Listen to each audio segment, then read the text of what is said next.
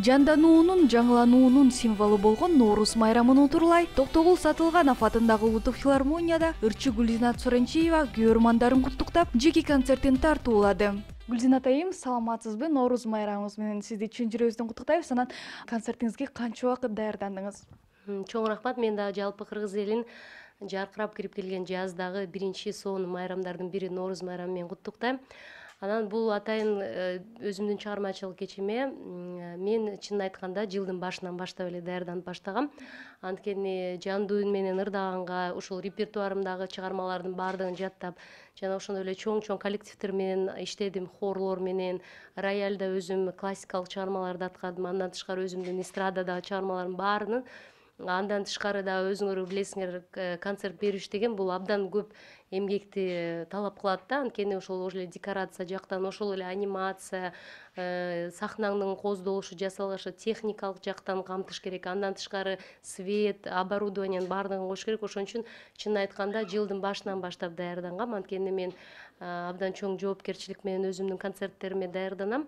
Анткени өзүмдүн күйөрмандарыма жана ошондой эле угуучуларыма жакшы э, деңгээлдеги жана ошондой эле э, кандай десем э, профессионалдык деңгээлимди дагы бир жолу көрсөткүм келгендиктен жакшы даярдандым гүлзинат айым өзүңүз билгендей эле сахнага чыгып концерт берердин астында даярданып атканда маанилүү нерселердин бири бул сахнада кийип чыккан костюмдар да кирет анан бул концертиңизге канча көйнөк тиктирдиңиз ошол туурасын айтып берсеңиз Э, бул концертиме үч костюм тиктирдим. Э, анткени башында кичине фольклордук эски чыгармалар аткарылгандыктан башында улуттук кийим менен чыгам. Экинчи көйнөгүм болсо экинчи блокто жалаң классикалык музыка болгон үчүн ушу э, вечерний фасондогу жакшынакай дагы бир костюм менен чыктым. Ал эми үчүнчүсү эстрадный блок болгондуктан ошого дагы ушул костюм менен чыгам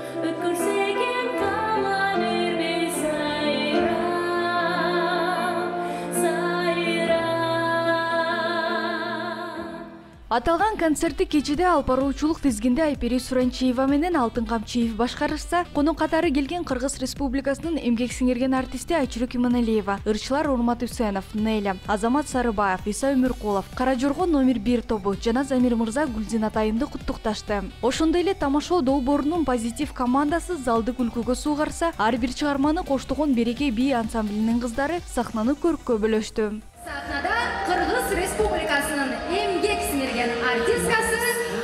Широк и Маналиева.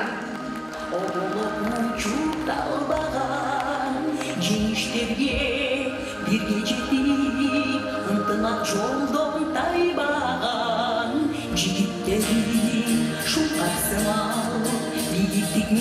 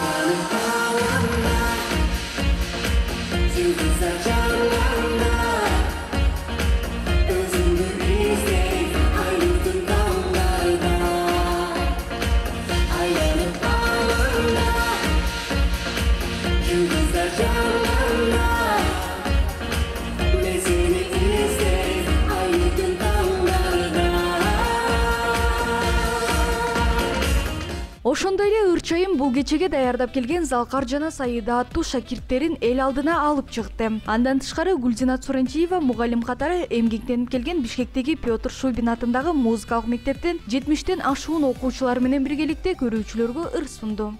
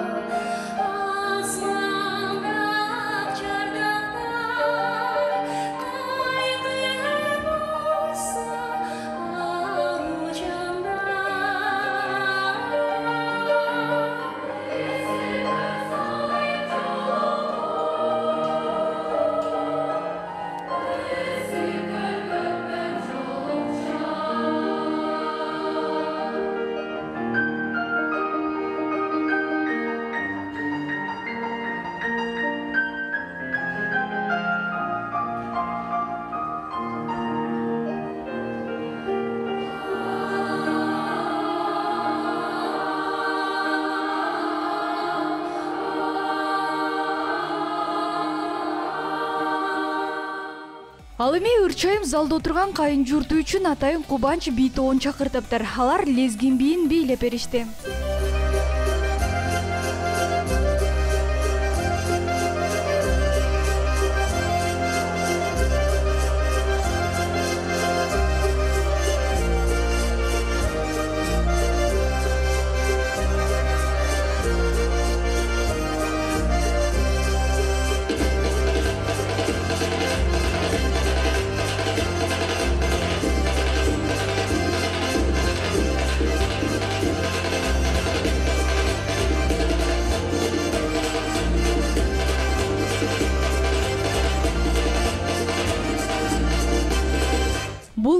гүлзинат суранчиева популярдуу жана жаңы жазылган кайрыктарын созуп гана тең болбостон роялда кол ойнотуп көрүүчүлөрдүн колдоосуна арзыды